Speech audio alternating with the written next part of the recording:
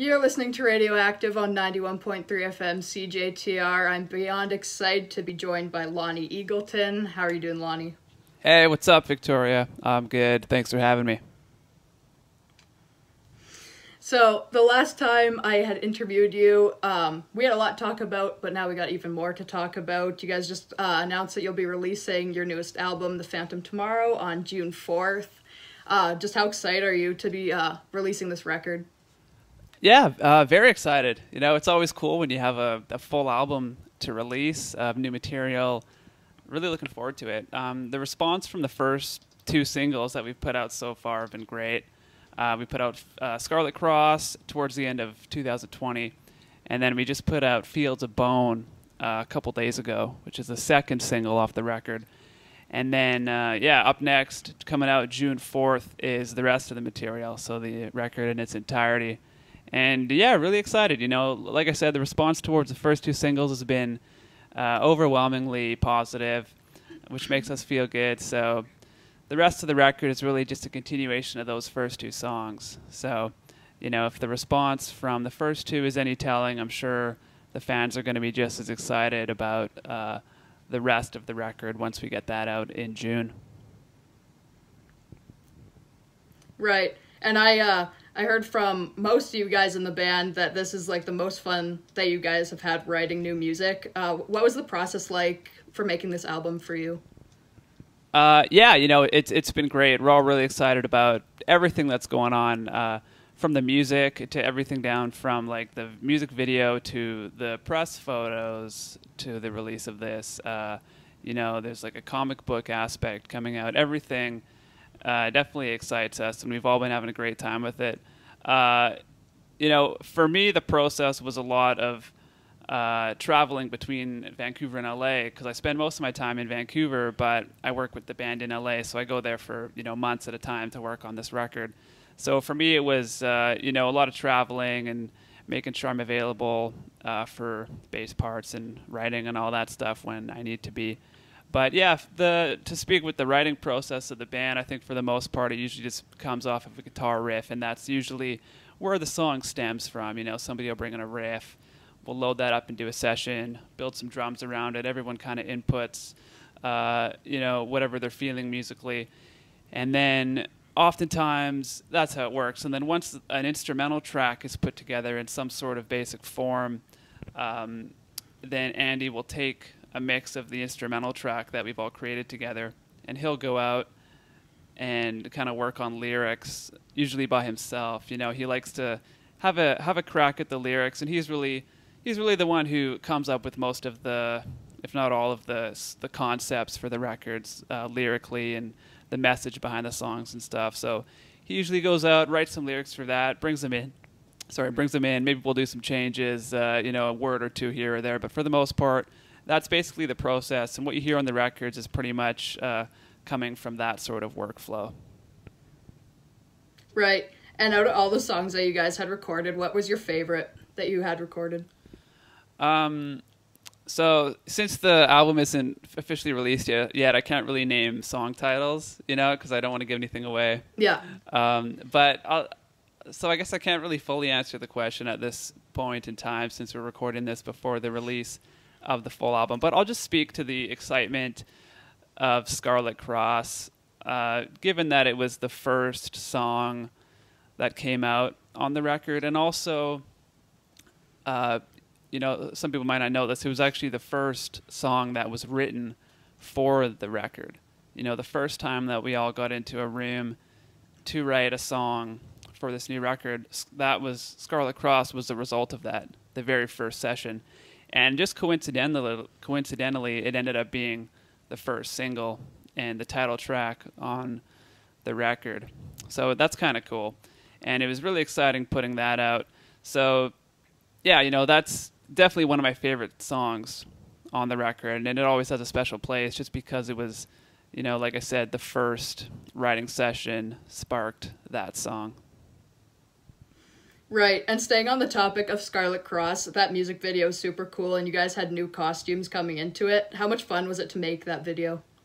Yeah, the the video for Scarlet Cross was was a blast. Um, like any music video is, it's always fun being in a music video and and having a having a visual representation of of the song, right? Because really, music as an art form is strictly strictly auditory. You know, you never you don't see anything unless the music allows you to imagine stuff. But it's cool when we can kind of create our own visuals behind the songs. And given that this is a concept record too, there's a storyline behind the songs, and we have characters, and there's uh, you know actors who are portraying those characters in the Scarlet Cross video, and I think it turned out really cool. You know, we were all super happy with it. And then, uh, yeah, the, a continuation of that was Fields of Bone, which was the second song that just came out a few days ago, like I was saying earlier. And you see a lot of those same characters in the Fields of Bone video. And yeah, both music videos were super fun to uh, to film, and I think they turned out great. Yeah, I think they turned out pretty cool too. And in Scarlet Cross and Fields of Bone, uh, what parts were your favorite in each video? Um, so with Scarlet Cross, I, I, think I think one of my favorite things was was just just seeing the song come to life on a on a camera screen. Yeah, you know, it, I think it's it comes down to being a part of the process of being in the room while the song was written and hearing it just be created out of nothing and then you know months later seeing oh wow like here we are on set doing a music video for this and then here we are doing eventually like doing interviews to represent the song and help promote it and stuff like that and just kind of kind of seeing the baby grow uh, you know into an adult to uh, speak metaphorically. It's it's just cool to see the entire process unfold. But yeah both both videos had a lot had a lot of cool things. Um, yeah. the fields of bone video especially was was very creepy to film. Um, like we, we filmed it in this this movie studio, I guess it was, and I, I swear they film like horror movies in there often because it was just such a creepy vibe. Uh, I mean, you can kind of see it in the in the Fields of Bone video. There's like skulls yeah. around us, and you know, I mean, it just kind of plays into that horror horror visual representation that a, a lot of people enjoy. So yeah, I was kind of getting freaked out. there was one time where I got lost in the set I was trying to find my way oh, back man. upstairs because we were filming it in basically like a dungeon of this building. That's where that's where the set was. And I was trying to get back upstairs. I got lost. It was really dark, and uh, kind of got scared for a bit. But yeah, the video turned out really cool. And what, what, was also super cool, yeah. uh, just say one more thing. What was also super cool about the Fields of Bone video was that uh, our lead singer Andy Biersack directed the video, so he was really the one you know, making those decisions of like where the camera angles should be and, you know, giving pointers to the, the cast and everything. And he did a great job. And uh, that was actually his first time directing a music video. And while he's always really involved in every aspect of the band, it was his first time kind of being the official director of the video. And I think he did a great job. Yeah, I think both those videos turned out super, super cool. Thank you. Appreciate that. So, right after Scarlet Cross came out in November, you guys had done an Alive and Burning show with a live stream. How much fun was it to do this stream since you guys can't really tour or do anything like that? Yeah, so yeah, we did a live concert experience. We've done a few of them, or a couple of them now at this point, but yeah, Alive and Burning 2 was the title of, uh, of that one. And, you know, the band had done one called just regular Alive and Burning a couple years back few years ago. When would that have been? 2015 or 2015, I think. Yeah, 2015 sounds about right. So this Alive and Burning 2 was the follow-up, as the name suggests. and uh, yeah, it was cool.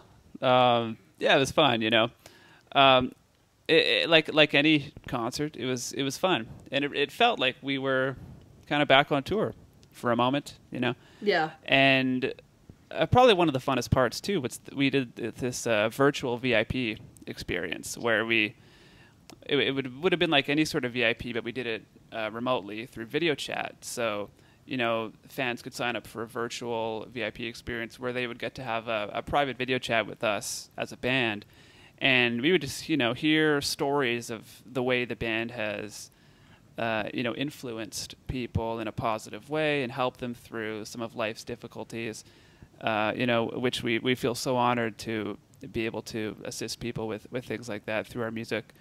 And uh, yeah, anyways, just to say that the virtual VIP thing was great. Uh, you know, we love being able to connect with the fans in that way. And since we haven't been able to tour recently, that really helped us to, you know, kind of keep the, the that close connection that we have with our fans uh, to some extent. But yeah, the goal is definitely to, to take these songs on the road as soon as the global pandemic lifts that we're in right now.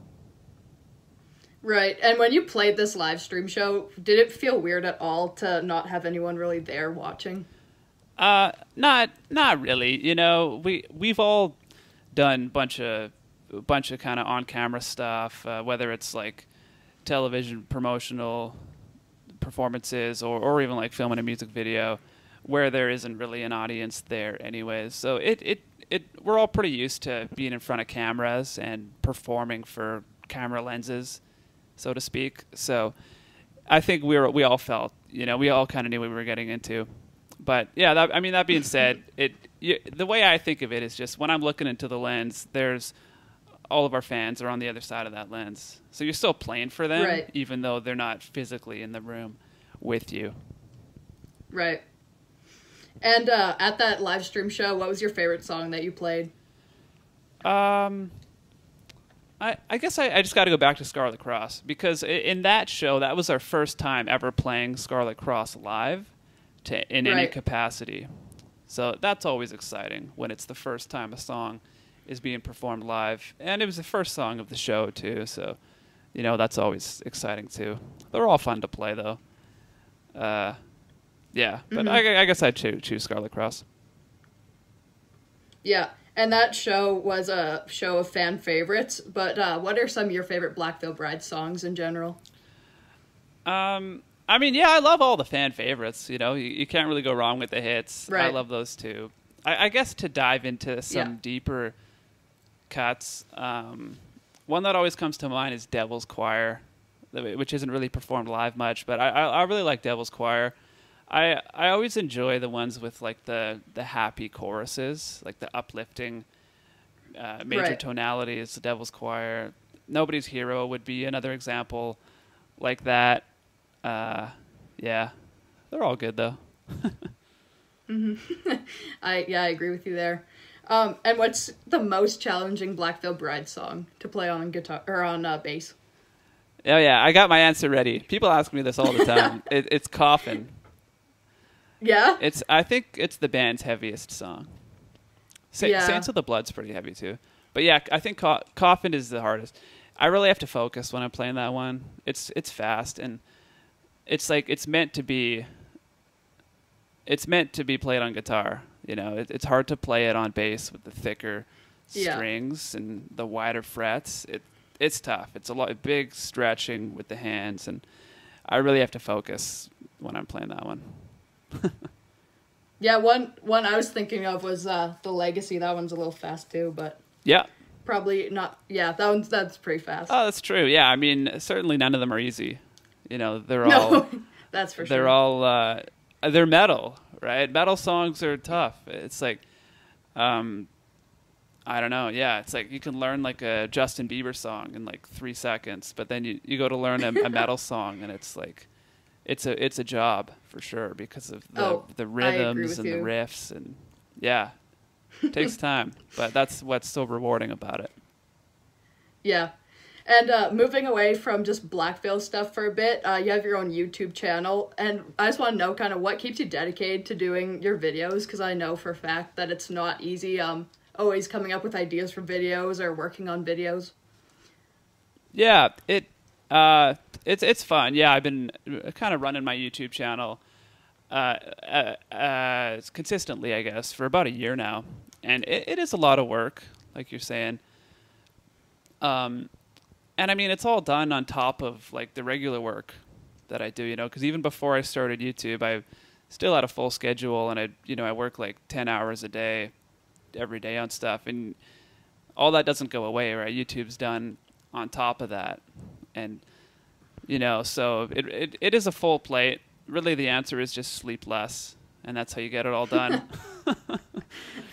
I mean, I I'm often up till not often, but you know, once or twice a week, I'm up till like three in the morning, like Oh trying to like meet deadlines. Like I'll I'll go to bed with my wife, and then when she falls asleep, I'll like, you know, go to bed with her just to be a loving husband. Then I'll you know get back up and work till like three a.m. Uh, Oh. I mean, this is these are the kind of things you got to do. It's if you want to get everything done, you know. Right. Um, But anyways, I don't want to seem like I'm complaining here. I'm just I'm just kind of letting you know what goes on behind the scenes. But no, I I love Yeah. doing uh, I love doing my my channel, and I I feel like it's it's a good thing I got going on there. You know, just we got a really positive community with everyone kind of supports each other, and I, like my entire comment sec- comment sections on my videos are all you know often like 100% positive with people just sharing sharing wonderful stories with me or uh, you know just saying how much they like the music and I, I love that and you know at the end of the day it, it it is a lot of work to edit the videos on a, on a weekly basis but I enjoy every second of it and Mhm. you know even if I do feel a little tired sometimes the second I publish a video and I see I see people uh, responding to it so kindly it, it makes it all worth it Yeah. And uh, out of all the videos that you're that you've done, what's your favorite? And it can't be a playthrough. Um, what's my favorite? I, I, you know, I try to keep the variety pretty vast. Um, like anywhere from like interviews to guitar lessons to, uh, you know, silly stuff like taking quizzes and all that kind of stuff. I la- actually lately I've been doing a, a series where I analyze songs, so I'll kind of Yeah. break down like what makes up a song that you know. Like i'll take a look at what the drums are doing or what you know what the vocals are doing or like how how the guitar is being played. What what's the theory behind the guitar solo? Kind of analyze it and break it down section by section like that. And really the goal is for people to hear the songs in a new way that they love you know you can hear a song a million times but maybe you never noticed that one little guitar part in the background of the chorus there and I feel like it's cool to point that kind of thing out to people who might have missed it and allow their ears to open up to to a new way of listening to songs. So that's kind of what I've been doing in my uh, analysis series lately. So I, I've been enjoying those. Yeah, those are cool. And like, even yeah, I think it was your perfect weapon one. Like, I would never have thought that there was an organ in there. Was it before the chorus? I think it was. Yeah, Wherever it was in the song. yeah, it's it's right during the chorus actually. Yeah, there's a there's an organ in in Perfect Weapon, and uh, yeah, I I uh, yeah I, I don't know I, I just love uh, you know kind of finding those hidden gems within the tracks and it's uh, it's neat the production that goes into a song. Yeah, and I gotta say, I also like the one with uh CC beatboxing. That one was funny too. Thanks. yeah, I, I you know I have a good time good time putting those together. That CC beatboxing one took a long time to do. It was so funny though. See, the thing is, I've been really, I know it was. I, I've been wanting to do another beatboxing one so bad, but that first one just took so much out of me. Like, Yeah. I, I, I can't, I don't even want to admit how many hours that took me to do. Like, so I, I really want to make another beatboxing one, and I plan on doing another one soon, but I just got to be ready for it because, yeah, it really took a lot out of me. Yeah. And uh, out of all your playthrough videos that you've done, which one's your favorite? Uh, they're all they all kind of have their own thing, right? Like with uh, when I was doing the playthroughs for Restitch These Wounds, I was doing them in front of a white backdrop, so it was kind of that like, you know, never-ending background, sort of like where is he sort of thing, and and that was fun. Lately, I've been doing though more on-location filming. Like for Scarlet Cross, I went out into this this field in the middle of the night and there was like high-rise buildings behind me, and I thought that, that was a pretty cool look. Whereas uh, the one I just put up for Fields of Bone, I was in uh, a cemetery actually in uh, Los Angeles, and there's like palm trees behind me and stuff like that. So I don't know. I guess to answer your question, I'll, I'll just choose my most recent one for Fields of Bone. I, I like palm trees, so it's cool how I got to feature those in the video. Yeah, I gotta say, probably my favorite was the Scarlet Cross one, just because it was like a on location one, and uh, Sweet Blasphemy. That's just a cool song, though. Oh, thanks. Yeah, yeah. You know, every video I make has its own kind of personality. It's hard to choose one over the others, but no, yeah, I appreciate that. Thank you. So that's all the questions I got for you today, Lonny.